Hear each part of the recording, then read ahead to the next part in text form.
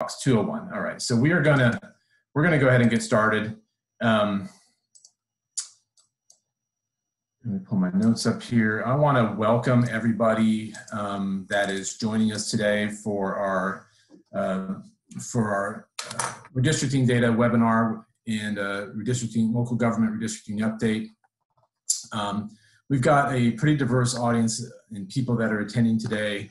We've got a lot of city and county officials as I look through the, who's, who's on the list, city and county officials who are probably very interested in finding out what their populations are going to be in 2020. We've got uh, elected officials who are interested in redistricting process. We've got planners, analysts, and researchers who are looking at this from the aspect of this is the first 2020 census data that they're going to get. So we have a lot of interest um, in this presentation because I think we have a couple of really good speakers on hand who can help tell us how we're going to be able to access and use it.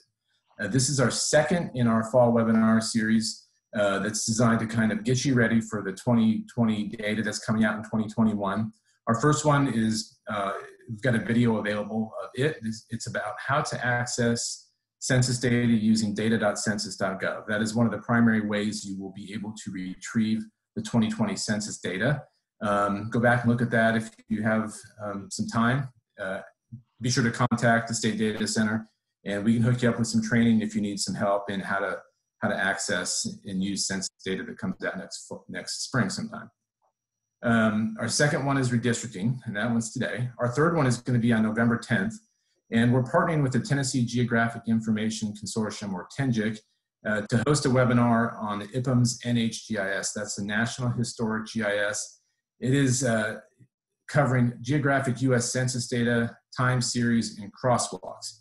And that's going to be presented by Jonathan Schroeder from the IPUMS Center for Data Integration at the University of Minnesota. And it's focusing on uh, comparing dissimilar ge ge geography across historic census information. So we'll be able to, we'll be looking at how did how can you compare census data from say like 1990, 2000, 2010, eventually 2020 to see how your community has changed, whether it's um, the demographics, the age, race, and ethnicity makeup of the community, housing characteristic, income and poverty, all these various measures that are captured over time. We can look at we can look at that information in a, in a time series, and he's gonna he's gonna lead us through a very practical exercise aimed at uh, learning how to actually conduct those analyses. Uh, that webinar is going to be at 2 p.m. also, and the details are on tnsdc.utk.edu, which is the State Data Center website. Um, this webinar is being recorded. You may have gotten a prompt about that. Um, during the webinar, please leave your mutes on. We don't have the full full-blown webinar account at, at UT where we're hosting this webinar. So please leave your mutes on. Erin Hatfield is uh, going to be is our communications person. She's going to be kind of just checking to make sure that those stay on. And I'd also encourage you to use use the chat to ask your questions. Um, and when you're doing that, when you're typing your questions into the chat, it's probably set to everyone in terms of who you want to address that to. Just try to leave that set to everyone so that um, everyone can see the questions that are going to be asked. We will not ask our, our presenters to answer them in chat. We'll present those questions, we'll pose them to them uh, collect them and let them answer them so that everyone can hear the response. Um, so just a few thanks. First, thank you to everyone who registered. We had a great response to this uh, webinar. We were hoping that we would, and we did. So thank you for taking a little bit of time to, to join us this afternoon. Thanks to Erin, um, who's handled a lot of communications and is, is in, uh, uh, host, in charge of hosting this for us today. And then uh, thanks to our two speakers. I'm going to start by introducing James Whitehorn uh, who's going to give us an update on the 2020 Census Redistricting Data Program. And James is the chief of the Redistricting and Voting Rights Office at the Census Bureau, so we couldn't find a better person to, to speak with about this topic. He started in the Geography Division in 2006 and has worked on things like the Redistricting Data Program as well as the Participant Statistical Area Program, which a lot of people across Tennessee helped in drafting of new census tracts that will be used in 2020.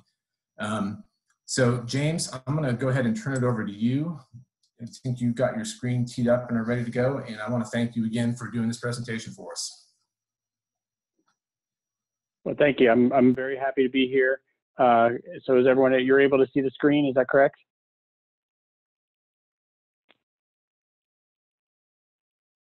unless you chime in, I'll, I'll assume that you can. So, We can, Um, we're good to go. All right, excellent, thank you. Uh, so I'm, I'm very happy to be here today, and, and thank you, Tim, for the, the invitation to, to speak with everyone. Today, I'm going to talk about the 2020 Census Redistricting Data Program, why it exists, what it does, what you can expect from it as we move towards the eventual delivery of the census counts as well. Let me make sure I get this there. Okay. So the term redistricting brings to mind many concepts and electoral practices, but in regards to the Census Bureau, it's a pretty straightforward thing. Uh, and it's captured by our overall mission uh, of the redistricting data program itself. And that mission is laid out by Public Law 94-171, which directs the Bureau to do two things. The law requires us to establish a program that allows the states to identify the small area geographic tabulations that they need for conducting legislative redistricting. And historically, those areas have been identified as voting districts, census blocks, and other electoral geography like legislative and congressional districts. The second thing we're required to do is to deliver to the persons and the bodies with the initial responsibility of legislative apportionment and districting the, the identified tabulations in those geographies they specified as well as other geographies. And we're required to do that by one year from census day. Uh, we've interpreted that to mean that the, the group that, of official recipients is the governors, the legislative leadership of both parties and both chambers of the legislature, and then any other public, public bodies like redistricting commissions that have sitting members. Most importantly, we have an umbrella requirement for the program, which is that the entire process must be conducted in a nonpartisan manner. Uh, one of the ways we accomplish this is by having the state legislative leadership of both parties agree on a nonpartisan liaison who can represent the state in a nonpartisan manner, and we work with them throughout the program. Uh, for the state of Tennessee, we work with Ms. Susan Goulette and Matthew Hill, who we'll hear from uh, in just a little bit, uh, both from the Office of Local Government. The redistricting data program's role is to design a program to achieve the work, establish the program criteria, collect that small area geography, identify the required tabulations, and make sure that they get delivered. So since the law was passed in 1975, that makes this the fifth decade of the program. And for most of those decades, we've designed a program with several phases. Uh, for 2020, we had a five phase program. I'll go over these in more detail in a minute, but they're the block boundary suggestion project, voting district project, the uh, crucial data delivery, uh, collection of new plans, and then an evaluation uh, that we call the view from the state. So phase one was the block boundary suggestion project. It kicked off in December of 2015 and was successfully completed in July of 2017. It was open to all states, DC, Puerto Rico, uh, and it allowed the states to identify and provide features that they need to be block boundaries when the 2020 tabulation blocks are produced. And by features, I mean roads, waterways, mountain ridges, anything that you can think of as being represented by a line on the map. The blocks themselves aren't created until now, so that's one of the, the, the pieces of processing that's going on uh, back here at Census. But the idea is that when those blocks are created, the features that were flagged by the states will be used as boundaries, along with the features that Census deems as necessary for our work. Now, in addition to making those block suggestions, states could uh, provide missing features. So if you had uh, a new uh, uh subdivision built, you could uh, add the new roads. Um, if we had features that were out of place, they could be realigned. We could get updates to area landmarks. These are things like state parks or prison areas. Um, they could review the block size review. We had something called prototype blocks that we created uh, using the software that, that we're using now to create the actual blocks uh, that showed with a, a, an ordinal measurement of size of how many housing units would end up in a block. So if the block was going to be too large, the state could provide a, a split for that block uh, and it would become an actual new block. Uh, but most importantly, I think the, the, the big innovation for this decade was that we aligned with the boundary and annexation survey and we were allowed to accept suggested updates to legal boundaries. We still had to pass those to the boundary and annexation survey, but uh, uh, uh, but we were allowed to at least get those suggestions in, in the door. Uh, we had great participation here. Tennessee participated fully. Um, we actually had 41 of the 52 eligible states participate for that part of the program. Phase two, uh, the second part of the small area geography uh, collection in the, in the program. uh, is that collection of voting districts. And when I say voting districts, in, in census terminology, a voting district is the equivalent of a precinct or a ward, um, the, that small electoral piece of geography. So at the beginning of phase two, uh, since these, these program phases uh, each take a couple years, we sent letters of invitation to our liaisons, notifying of the start of the program. And then we also sent a notice to the governors and legislative leaders in each state to notify them that the program was starting up and also letting them know who their official liaisons were, just in case there had been any shifting in that uh, group of people, those legislative leaders, due to elections or, or retirements. The collection for phase two ran from January to May of 2018, and then we had two subsequent rounds of verification to ensure that we were processing and maintaining those boundaries correctly. Uh, and we also had this program, part of the program, open for the same updates that I mentioned for BBSP with missing features, misaligned features, area landmarks, and legal updates.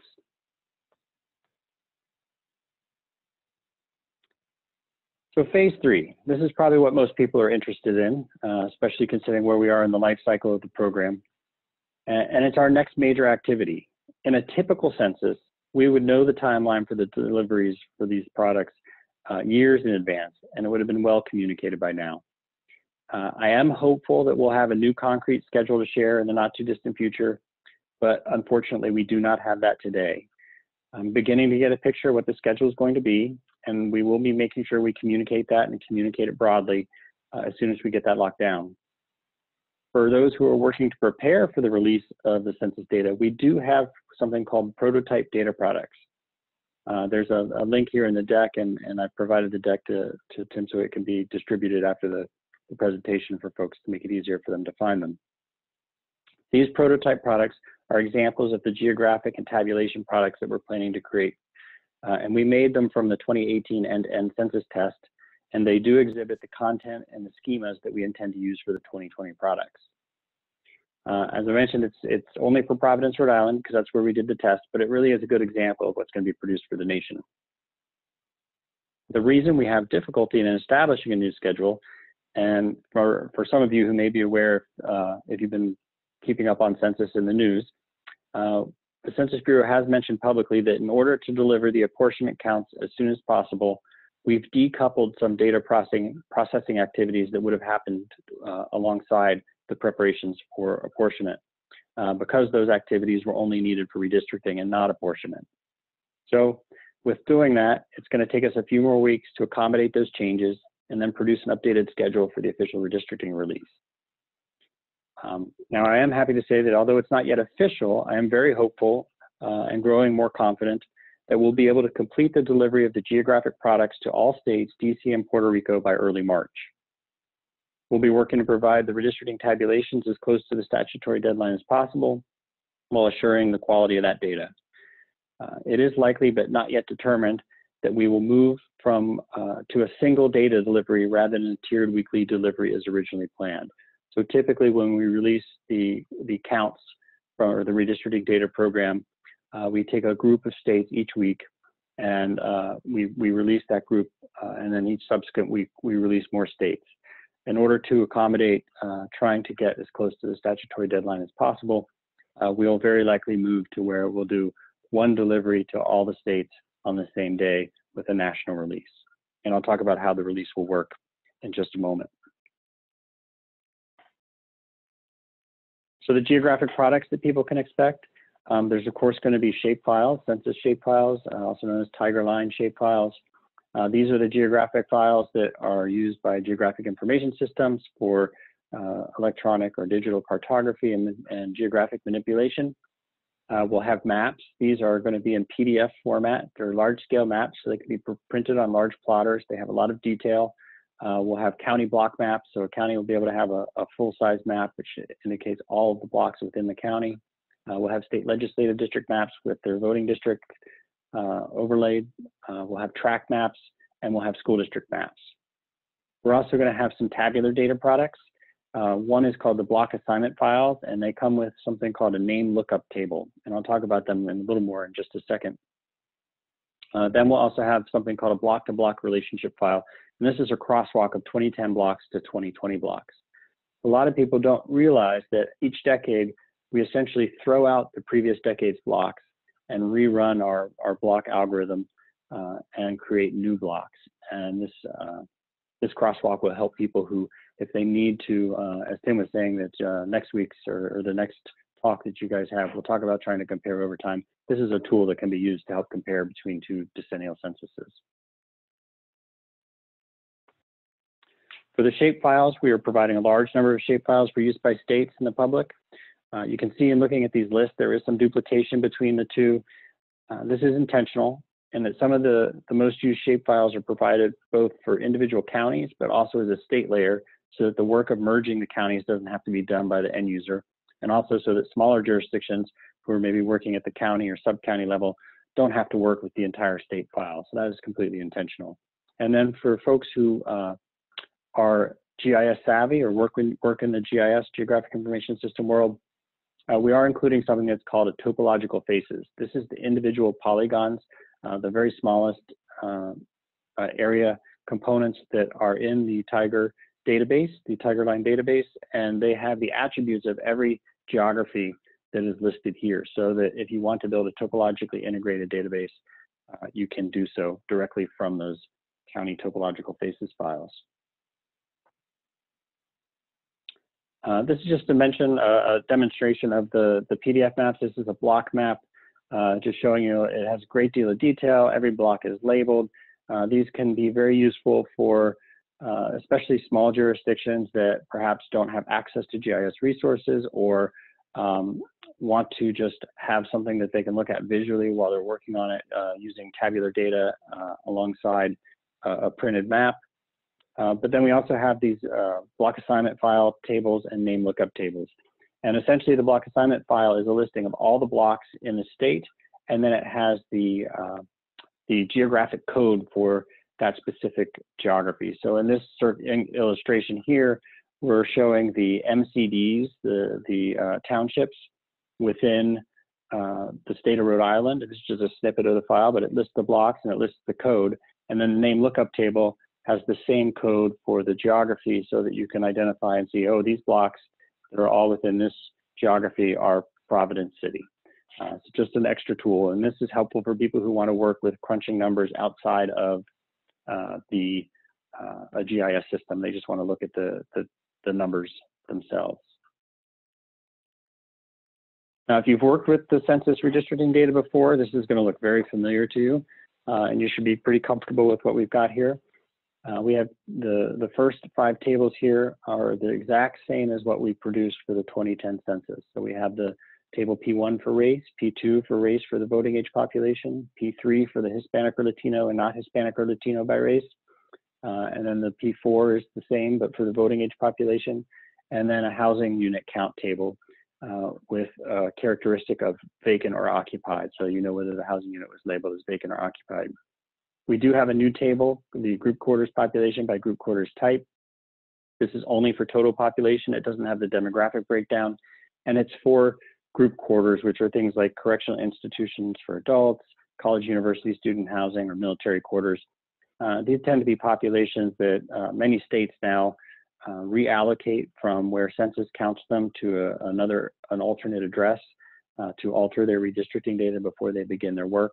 So this table is just added as a tool to help them with that bridging of that work. All of the tables that you see here will be available at the block level, so the smallest level of geography for which census publishes statistics. If you aren't familiar with what these are, um, here's just a, a, brief illustration of how these tables are organized. Uh, the race table, uh, ever since uh, census or 2000, 1997, Office of Management and Budget uh, which directs how the federal government collects and, and reports race and ethnicity, uh, said that people should be allowed on a survey like the census to be able to select uh, one or more races. So in order to represent that in a table, uh, we, we report it just as reported by the respondent. So if someone says that they are white alone or black or African American alone or American Indian Alaska Native alone, they would end up in this population of one race that you see on your screen with just the white alone or black alone or American Indian Alaska Native alone category. If they pick two races, they would end up in the two or more races, and someone can do that all the way down iterated until we get to all six races.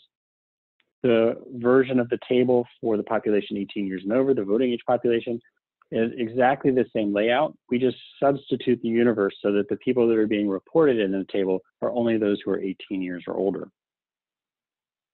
We have a very similar uh, situation with the uh, the Hispanic or Latino and not Hispanic or Latino by race. Anyone who declares themselves that they are Hispanic, have a Hispanic or Latino ethnicity, would be counted in the Hispanic or Latino group, and all the remainder of the people in uh, in the census who said that they were not Hispanic or Latino are iterated through those same categories all, way, all the way to six or more races, uh, as indicated in the previous table. Uh, and then, of course, the Hispanic or Latino for the voting age uh, is again the same table and the same layout, but we just substitute the population for those who are 18 years or older. The housing unit counts very straightforward. Total, total housing unit count, uh, number of occupied housing units, number of vacant housing units. And then, of course, I already described the table P5, the group quarters type. Uh, just a reminder, it's for total population only, no demographics. But again, all these tables are available down to the block level. So how are people going to get this data? How is this going to come out to the public? So the official recipients, which I mentioned earlier, uh, from a Census Bureau standpoint, are the governors, the legislative leadership in both chambers, uh, the redistricting commissions if they exist, and if they have commissioners named, so we have someone that we can actually deliver to. And we're going to be delivering two ways this decade. Uh, we're going to have physical media. There's going to be a case that's going to be sent by overnight tracked mail uh, with a DVD and a flash drive in it. The DVD and the flash drive will have the exact same information on them. Uh, it's just in case someone doesn't have an optical reader or someone has their USB uh, ports locked out because of uh, security considerations in the office. So we're sending it in two methods uh, just to make it more accessible. Um, we will send that overnight, but and the day that those uh, physical media are supposed to be arriving at the addresses for the official recipients, we will also open up what we call embargoed access to the data.census.gov platform. And Tim mentioned this as a, a previous uh, webinar that has been put on about how to access data. With the retirement of the American Fact Finder, we now have the data.census.gov as that, that platform replacement. Uh, and so we'll have, uh, we'll work with the official recipients to get them signed up in advance so that uh, as that data is supposed to be arriving in the physical media, they'll also have the option to log into a protected uh, embargoed version of the same data set on data.census.gov. We're then going to use the web monitoring tools that we've built internally to see if someone's logged in to view and, and download that data and the tracking numbers from the physical products. Um, so we have both channels to try to, to see if the data has been received. We're making phone calls to confirm that it's been received. And that way we can make sure that we're meeting our legal obligation to get this data out to the states. But then we also have to get it to the public. So uh, the next day after that data is received by the states and we've confirmed that it's been received, uh, we will turn on the public version of data.census.gov with the full data set. It'll have a full data explorer functionality. And we've also added in uh, as a requirement to support the redistricting data program that the public uh, and anyone using data.census.gov should be able to use this large data download function. And the way that's defined is uh, you should be able to pick all census blocks for all the tables in the PL redistricting file downloadable at once. Uh, so this was a limitation that American Fact Finder couldn't uh, uh, couldn't overcome, but we have managed to overcome that in data.census.gov. So that way you will be able to go in and just pick your tables, pick your block level data, and you can pull the whole state down at once if that's helpful to you. Uh, we're also going to have our expert user version on the FTP site. These are text files. Um, this is the full suite of all geographies, all data um, for the redistricting data set. These are relational tables that need to be imported into uh, a database structure and, and linked together. Uh, there's a new data for, if you've worked with us in the past decades, there's a new data segment to accommodate that group quarters table. It's now going to be the third data segment. Uh, and an important note here for people who are planning to use this, the prototype data that I mentioned earlier used our old format of using a fixed width geoheader, which is the geography file, and then comma delimited uh, files for the data where the actual counts are reported. Uh, we've switched all of these files to be pipe delimited text files. So uh, you can use a single sort of importer uh, to get those in to your, your software, but I wanna make sure people are aware of that if they're preparing in advance. So once we deliver the data to the states, then the, the hard work in each, uh, each state capital will go on of trying to draw the new congressional and state legislative districts. Um, phase four is when we go back to the states actually after they've completed that work and we ask for those boundaries back to us. Uh, it's a little different than the previous phases because the previous geography phases are just a once a decade run, but this will do every two years throughout the course of the decade to make sure we're keeping our boundaries current so that we have current boundaries for reporting through things like the American Community Survey and all the other survey work that the Census Bureau does. So we'll be reaching back out in uh, uh, late 2021 through early 2022 to try our best to make sure we collect as many of those plans as are ready. And then finally, we do a big look back. Uh, we'll, we'll work with all the liaisons and other stakeholders to identify what worked well, what we could improve for the next decennial's redistricting data program. We'll look at the legal landscape to identify future needs the program should address. And we'll take all this information together and we'll create a report. It's called the View from the States. And this actually ends up being our guiding document as we develop uh, the next decennial's program. So it's already on the radar to be starting the work for 2030. So now I'm going to uh, switch to another data product uh, that's not part of the PL94-171 data set, but it's a very important product for uh, folks who work in redistricting. Uh, this is um, called the Citizen Voting Age Population by Race and Ethnicity, or we'll, we'll shorten that to CVAP uh, typically. And we've producing we've been producing a CVAP data set from the American Community Survey, one of the other surveys, the sample surveys that the Census Bureau conducts. Uh, we've been producing that every year since 2011. However, next year we're going to produce two uh, CVAP data sets. In early February, we're going to publish the traditional American Community Survey based CVAP.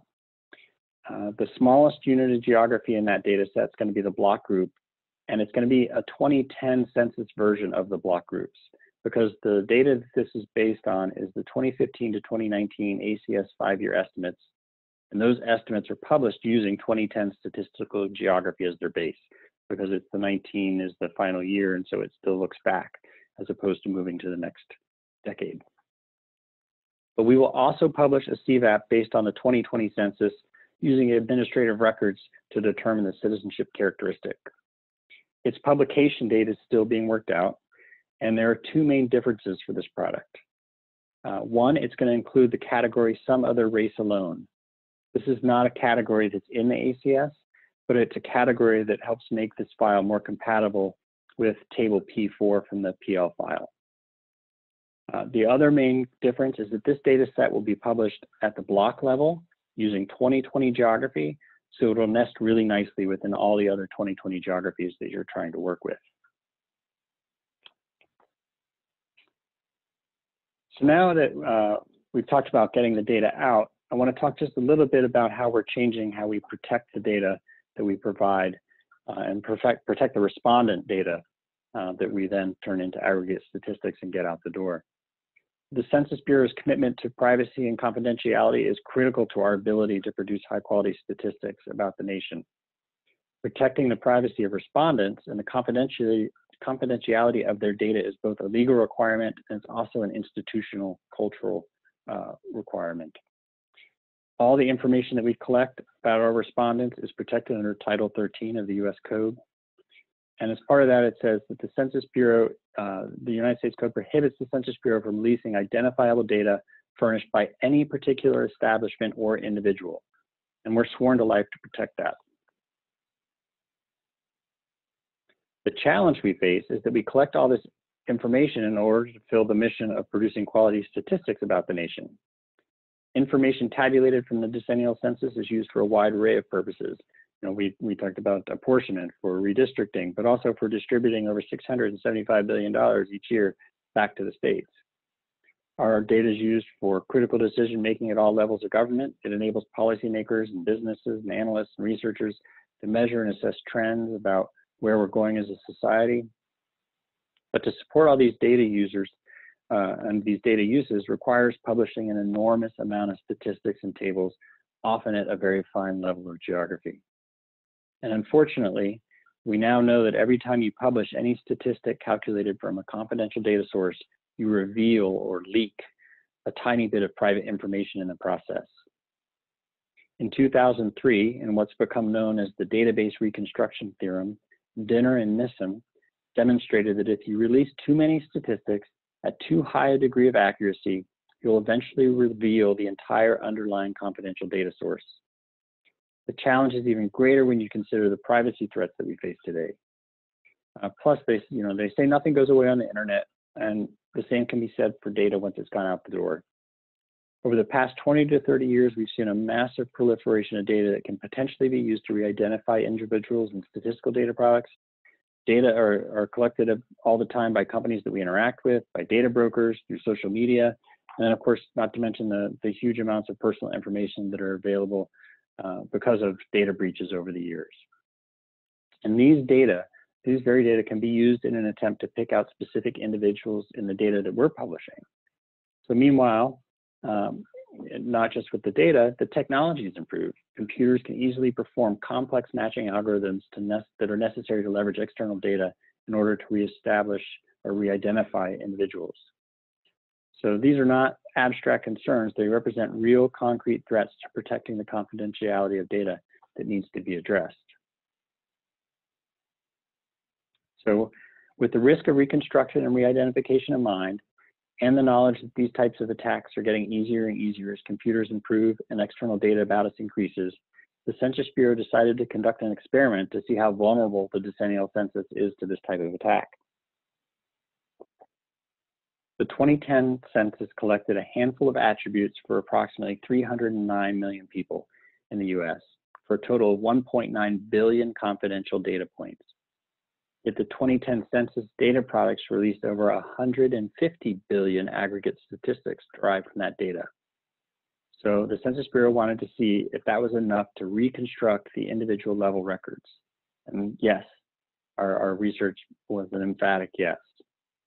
In fact, only using a small portion of 2010 public data products, the Census Bureau researchers were able to accurately reconstruct individual level data for all 6 million inhabited blocks in the US.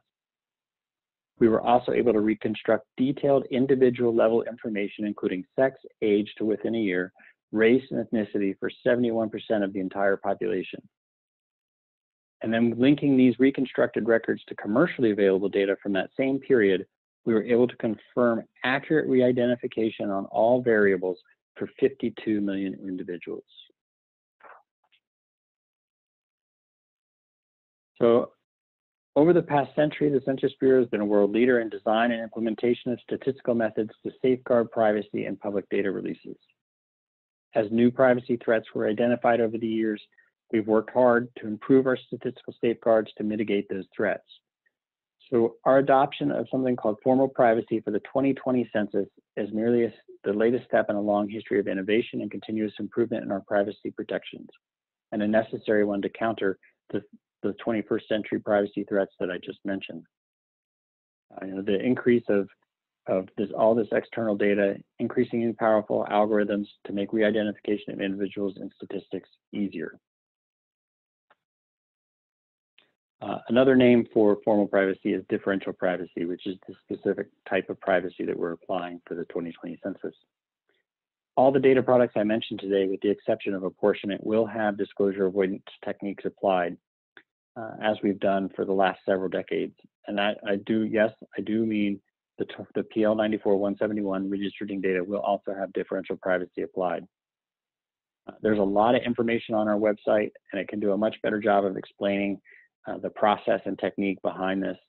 Uh, so I do support that, and, and there's some links in this uh, presentation, both here and actually some slides that come after my, my end slide for folks to take a look at um, that I think will, will be very informative if they're interested in this. Uh, another way that you can you can uh, uh, experiment with differential privacy is that we've been producing what we call demonstration data products using 2010 census data as its source. We make these available periodically so that data users can, can apply your use case to them to see how the outcomes would have been affected by the use of differential privacy. Uh, we released our initial run of a full demonstration data product back in October of last year, and this was to show that we could do this at the scale of a decennial census and also to demonstrate what progress we'd made to that date. We've followed with something called PPMFs, which look like, look like individual census records, but they're actually privacy protected records that have been processed through the differential privacy protection system. It's a bit difficult to work with those 300 million plus record files. So the folks at IPUMS NHGIS, the National Historic GIS, uh, that I, I again uh, nicely ties in with uh, the next session that that uh, the State Data Center is going to uh, convene. Uh, they converted these PPMFs into tables that data users would recognize, so they look more like the products that we would have produced at the Census Bureau. Our latest version from September 17th shows not only the progress to date, but also the changes that we've made to focus solely on the, the redistricting data for this initial uh, release of differentially private data.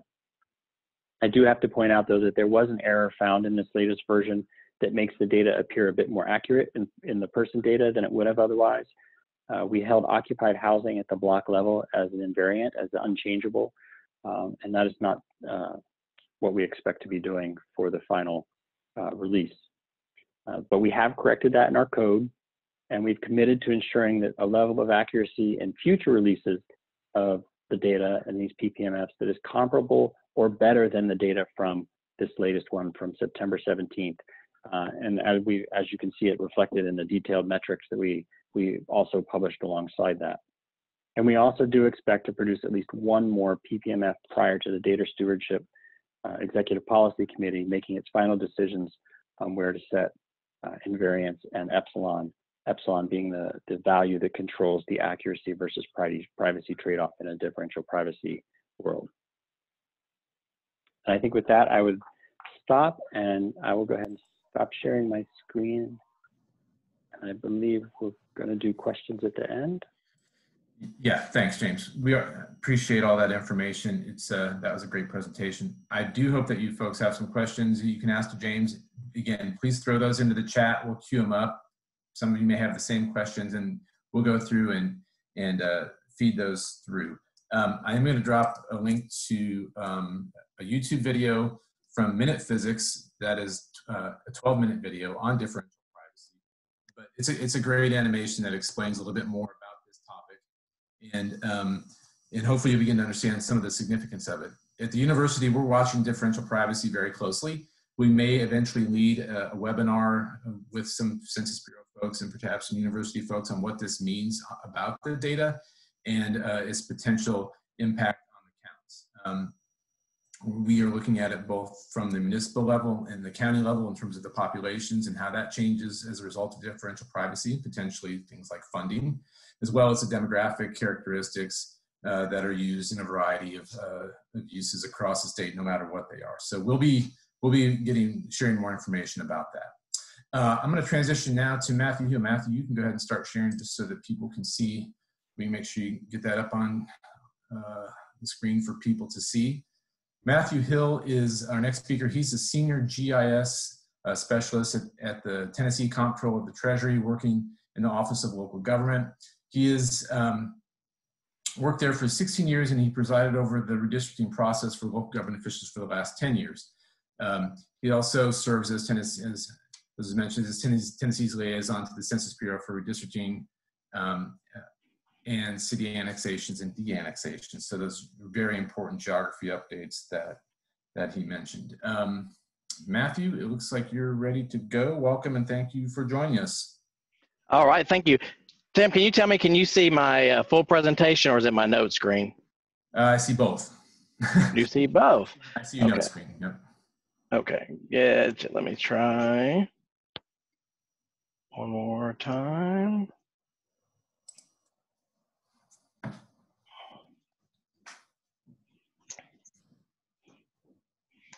All right. Is that is that you just see?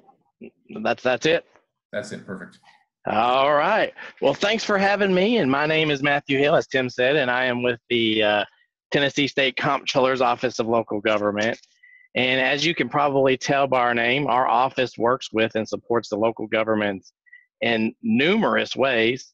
And one of those ways is um, through the redistricting process.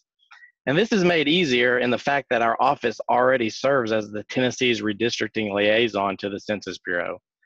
Additionally, since 2016, we have served as the liaison for the Boundary and Annexation Program, or BAS for short, for all matters related to the annexations or de-annexations, or AKA the cities here in Tennessee, as well as have been assigned by the governor as the state's certifying officers for those city boundaries. Essentially, our job is to make sure that the data flows to the Census Bureau in an accurate manner. So today I'm going to be covering the where we are now, the redistricting timeline, then I'll, I'll discuss the state's preparation, and finally we'll wrap up with what uh, to start thinking about, especially if you're a local official.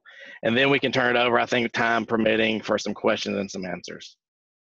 So let's catch up on the where we are now. I know James covered this, but they are there are five phases to the redistricting process. We've just finished phase one, the block boundary suggestion program. This is where we worked with local officials, planners, GIS folks, um, to make those suggestions for those block boundaries. and just as a reminder, the census blocks are what we use to redistrict in Tennessee. And now we just wrapped up phase two, which is the voting district project. This was the phase where election officials verified their voting precincts. So this means that redistricting is next. So for us, I like to say uh, redistricting is kind of like our Super Bowl. Some people actually compare redistricting to a locust. You know, it kind of it sits idly by for about 10 years and then poof, it magically appears and it says, I'm back. But it wasn't always like that, especially here in Tennessee. Before 1960, Tennessee had not redistricted since 1901. In fact, back then, many states did not redistrict at the time. It really wasn't until 1962 when Charles Baker, then the Shelby County mayor, filed suit against the Tennessee Secretary of State Joe Carr, arguing that Tennessee had not redistricted since 1901, even though the state constitution said to do so. The Supreme Court took up the issue and ultimately decided that the courts could step into matters related to redistricting. As a result, the Baker versus Carr laid the framework for the Voting Rights Act, equal representation and reapportionment, and the one man, one vote. Essentially, it, it fundamentally altered the nature of political representation in America, requiring not just Tennessee, but nearly every state to redistrict during this time. And this is why we why we redistrict. So therefore, redistricting is not optional. Per Tennessee code, this is something that every county will have to complete. And it is during this time that the county commission districts and legislative districts will need to be reconfigured to take into account areas of population growth or decline. Voting precincts will also need to be re reconfigured for those changes. And that is why it's important and what is at what's at stake. So in Tennessee, we have about 1,626 county commissioners, uh, 849 uh, county commission districts, almost 2,000 voting precincts, almost 4 million registered voters, 99 House districts, 33 Senate districts, and nine congressional districts. So as you can see, is an essential to a representative government. So now let's look at where we are now, and I'm going to discuss the redistricting timeline. The first one uh, is what we're looking at as far as a geography data release. Um, as James touched on a little bit, we're looking for a December 2020 through March 2021 geographic data release. This is the geography that will be used for the redistricting, things like the roads, the uh, the cities, or the places. That is where all the data that will be used for um, for the 2020 redistricting process will come from. That is followed by April 2021, or this is also subject to change, as you've heard from, from James. This is the AKA, as I like to call it, the population data will get released. This is followed by May 2021. And if the, if the population data does get released in April 2021, we're looking at a May 2020, May 2021 local redistricting kickoff date. This is the official date when the software data and maps will get released to those officials. And finally, the, uh, probably the most important deadline is the local redistricting deadline, which is December 31st, 2021. This is when all the counties will need to have their redistricting plans done. Uh, generally, I say the earlier better. The earlier the better. This is especially important for the next date because while the locals are redistricting, the, the legislature is also redistricting. Um, the quicker generally that you get your plans into us, the quicker that um, we can send those plans to the legislature in hopes that they will reduce those splits, especially for the voting precincts um, for our uh, election administrators. So looking at the timeline, you can kind of see that we've only have around seven months to complete local redistricting. So how do we get from a database from databases to a completed redistricting plan in seven months? Well, we prepare. We've been preparing for we've been preparing for this since 2010. First with the phases you saw earlier, and then we also handle all the processing of the data, every detail from roads down to the individual census blocks. Uh, it's about 1.2 million pieces of data. Next, we also break down all that census information into maps and population figures and distribute it to the local officials responsible for redistricting. So here's an example of a map that was given out to, uh, in this particular scenario, Maury County for their redistricting process. Uh, it's color coded and it shows, it represents those districts outside of a positive or negative 10% deviation. So with this map, you can visually see that districts 5 and 11 need to lose population. And we can also see that the districts 1, 2, 3, and 9 need to gain population. But this map just shows us one part of the equation. It doesn't exactly show the exact amount each district would need to lose or gain. That's where those population tables come in. It shows us the overall deviation. I don't know how well this will, uh, you can see this on your screen. And it also shows us how far or how off um, each district is. So in this particular instance, it shows us that District 3 needs to gain about 1,500 people, while District 11 needs to lose about 5,120 people. So that's where those population tables come in and can, uh, and, and can work. The next part of how we prepare and help assist local officials is we also rely on technology.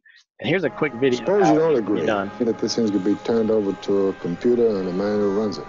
Uh, the idea of uh, creating a legislative system through the use of a computer and, and, someone who really knows nothing about the political balance and so on in the state uh, is obviously not a very happy uh, thought to anybody who's actively engaged in politics. When I first started doing redistricting, we used adding machines, handheld adding machines. Today, anyone with a PC can buy off-the-shelf software and do what it cost us $8 million to do 25 years ago. And now we're also going to the ability of using software that could superimpose Earth Google Maps over what you're doing. This is almost redistricting in 3D. So while we won't be redistricting in 3D here in Tennessee, we uh, we will be relying on technology. Now, now you're more than welcome if you're old school and you want to use those adding machines. You're more than welcome to. But for this for this round of redistricting, we will be relying on GIS technology. And for this go around, the comptroller's office we have developed a no-cost ESRI ArcGIS desktop extension. Um, those that went through this redistricting last time may remember it. It is very easy to learn, and did I mention also it was also free. In addition, we are also exploring a COVID friendly web based redistricting option. Um, we're still looking at it, but regardless of what we will have, regardless of what we will have, we will also be there to support you guys and it will be free to use. So, what else are we doing to, to prepare? Well, we are finalizing our guide to local redistricting. This is the comprehensive guide to all things redistricting in Tennessee. Well, whether this is your first, second, or third time involved with redistricting, this guide is a good place to start. It provides an in-depth review of the legal, technical, and all the data requirements to complete your local redistricting plan. And as soon as the redistricting guide is complete, uh, distribution will be made to all to all involved parties. And additionally, it will also be hosted on our website, and we'll send out that information when that's available. Finally, I'd be remiss to to uh, finally, I'd be remiss to say that we also rely on partnerships. Partnerships with the local governments and the UT's CTAS office or County Technical Assistance Services. Um, without those partnerships, local redistricting would be nearly impossible. And this graphic kind of explains the workflow local redistricting takes in Tennessee. It flows out from the U.S. Census Bureau, comes directly to our office. Our office then takes that data, divides it up, and then partners with CTASC and or local governments to complete the redistricting uh, redistricting um, process. So it really, it, it, truly is a collaborative effort to pull off redistricting. And I want to give out a huge shout out to CTASC. I saw a couple of them on this uh, on this call. We couldn't do it without them. So this brings me kind of to my next point: what local officials should be thinking about. First, you need to start thinking about the level of assistance your county needs. There will be three options. The first option is someone internally in your county assisting you. This is this is ideal if you have a GIS department or a technical savvy person. The CTAS, the second option is using your CTASC representative. This is ideal if uh, if you do not have a GIS department or you have a good working relationship with your CTASC representative. The third option to think about is our office assisting you. This is ideal if the following options are not best for your county. Whatever route your county, though, does take, training will be provided to the appropriate personnel on the desired software solution. Second thing to start thinking about is start looking at forming a redistricting committee. With the data stated to be released in that April timeframe, we're recommending a spring 2021 um, formation. Now, although this committee is not a statutory requirement, most counties do find that it greatly helps facilitate the process. In fact, most of our counties do uh, form a redistricting process. Also, I want to say that the membership in the county legislative body is not required to serve on this reapportionment committee. And adding others in there is often helpful.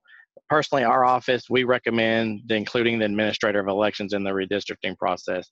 This can help cut down on, on costs related to mailing out new voter cards to, to the registered voters there. Next, while you've got while you've got your redistricting committee formed, start thinking about the makeup of the county commission districts.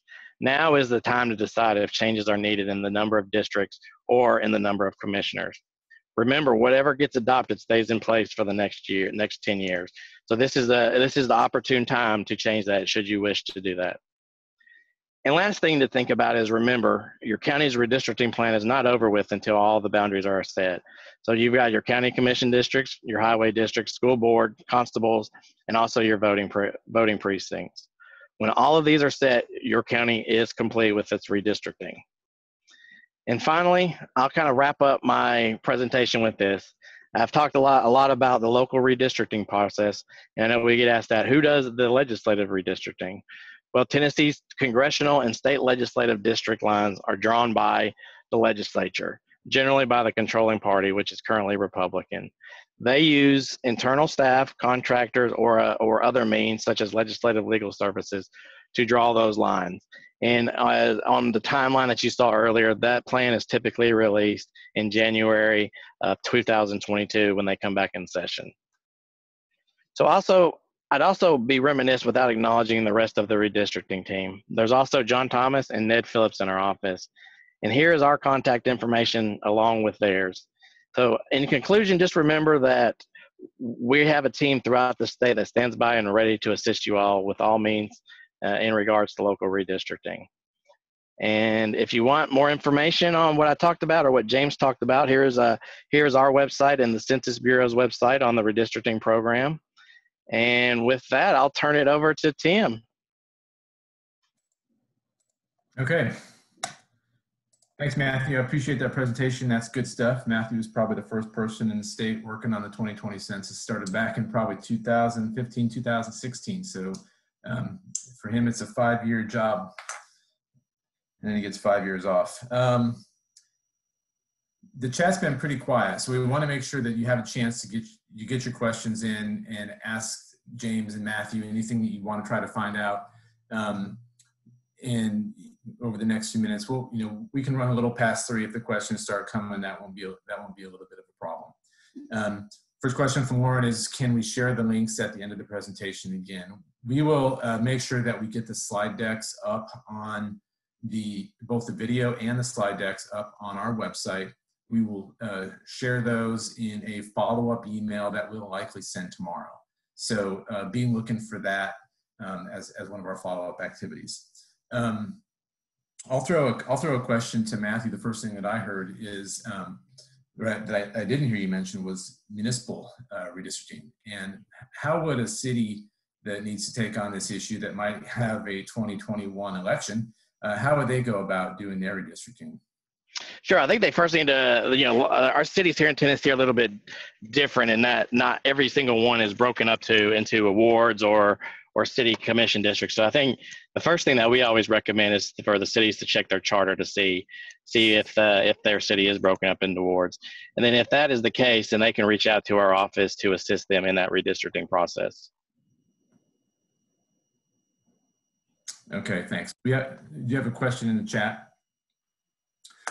Exactly who at the county level decides who does the redistricting? Is it a committee or otherwise? Who makes that decision about whether or not redistricting, who does redistricting and how it's done? Sure, it's going to be done through the um, through the county commission. The county commission will be the one that will form the redistricting committee if they like, and we would take our direction from the county commission um, when we're doing redistricting. Okay, um, I have a I have a question for for James. Um, I know you've worked closely with the state and with Matthew on geography updates.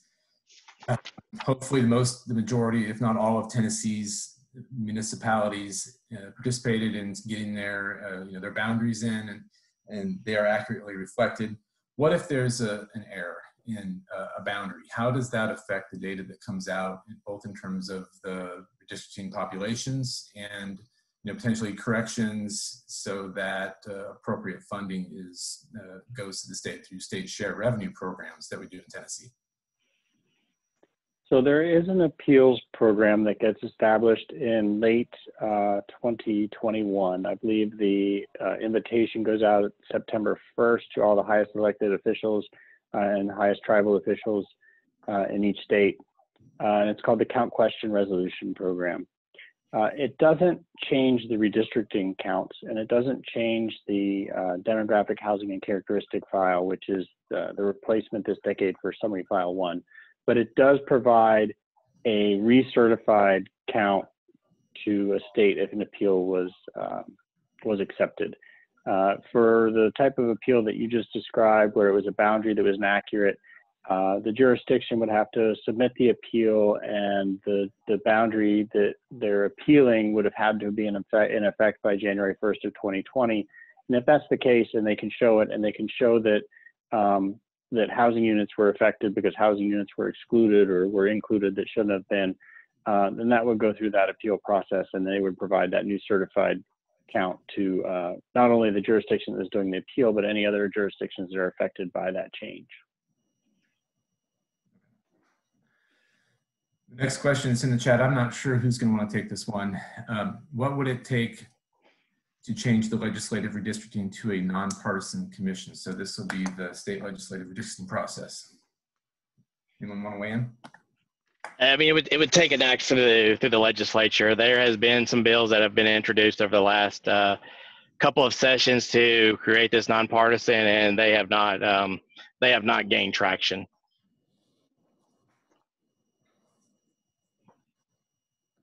Okay. Anyone else want to throw any if you're shy, is anyone on and just unmute and ask a question? Uh, since there's any other questions in the chat, is there anybody that would like to take advantage of that?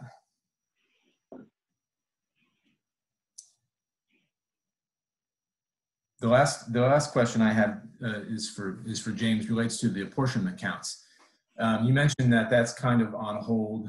the redistricting is kind of on hold in terms of processing that until the apportionment counts are complete, the state level counts. Can you give us a little bit of information about the products that will be provided as part of the apportionment counts? I know that there's potentially more than one. Um, so I can say traditionally what comes out when we create the apportionment counts is uh, we provide the, what's called the resident population, which is the, the, the, the, the folks who are resident within uh, the country, but then we also provide a secondary number called the federally affiliated count overseas. Uh, that is uh, something we collect through administrative records from uh, both the Department of Defense, the State Department, any agency that has U.S. Uh, folks overseas working on behalf of the federal government. And that count is only applied for the purposes of apportionment. We get the, we get a state identifier with those uh, overseas folks, and those they get counted into their state for the purposes of the apportionment count. Um, there is some discussion uh, around uh, uh, the presidential memo around um, uh, unauthorized immigrants or things like that, but um, that's not really a, a, conversation that I'm I'm a part of, so I don't really know where that where that sits with the Census Bureau at the moment. So we're right at three. Oh, we've got one more. Let's see. Um, Matthew, this one might be for you. How are prison populations factored into county level decisions? I guess we're talking as it relates to uh, the redistricting process at the county level. Sure. Yeah. State level process as well. State yeah, on the on the state level, um, prisoners are counted where they reside uh, for purposes of legislative redistricting. Um, for purposes of the, the, local counties, they can choose to actually remove that uh, that prison population. That was that was a change that was passed by the legislature three or four years ago that allows the counties to exclude um, exclude the prison population. We don't reallocate like some other states do. We're just we just remove them altogether. Okay, the next question, uh, also for you, Matthew, would be how are university populations uh, factored into local redistricting? Sure. I mean, we, we include them where where we use the census block. So wherever they're counted on April 1st of the data that we receive from um, from James's group, that's where we count them. We do not mess with university students, military bases, nursing homes um, at all. The only one that we will remove is, um, is are the prisoners, and that is a local decision too. So not every county um, has elected to do that. Um, I know I know it's a big deal for a Lake County, a Trousdale County, where you've got uh, a third of the a third of the population is in prison in those counties. So doing local redistricting, uh, it, it, becomes a really hard issue when you've got a, census block with 2,000, 3,000 people in it. You click on one census block and it can change your deviation. Um, we all we know that university populations are going to be uh, an interesting result in the 2020 census, given that a lot of university students returned home right about the time that their census form hit the mailboxes. So a lot of communities in Tennessee are very interested to see how the university populations shake out. Not so much from the group quarters perspective, students living in dorms, but the, from the off-campus perspective, how well those were counted, uh, especially around the larger universities. Um, also for Matthew, will, the, will counties have access to the deviation uh, numbers and the deviation percentages in May of 2021? They will. That is part of the kickoff the kickoff data that they receive. They get paper maps and they'll also get a digital version through our GIS software but yes, and we're also um, we're also looking at hosting via an ArcGIS dashboard, maybe of a county commission district deviation map. But yes, you, you'll get that that that one slide that was on my map that the um, of the map of Maury County. That's pretty. Every county will get something like that that shows what districts are um, over deviation, the amount they need to to get what the new ideal population. So they have all the decisions um, right there when we do release this data. Okay, it looks like that's all the questions we've got at this point. Um, we just just past three o'clock, so we'll we'll turn to wrapping this up. I want to again thank uh, Mr. Whitehorne, Mr. Hill for joining us today. Um, really great information from them, um, and we look forward to kind of watching the schedule of the redistricting data and learn more about when it's going to be coming out. We'll be following up with an email with the links um, the, the, to the with a way to download those presentations that you just saw. You can re review the video as well. And also check, be sure to check out our third webinar in our fall series about uh, census crosswalks and using historic GIS data to assess change in communities. Um, it's very powerful information and, and, it can create a lot of good stories to tell. And all your GIS folks that work in the cities and counties are dying to do it. So um, they would love to learn more about it. Give them a, a, a, heads up if you haven't. And again, thanks everyone for joining us and we'll, uh, we'll sign off. Thank you. Hey, Thanks. James, I appreciate it. Matthew, I appreciate it. Thank you, guys. Great information. Thanks, Erin, by the way.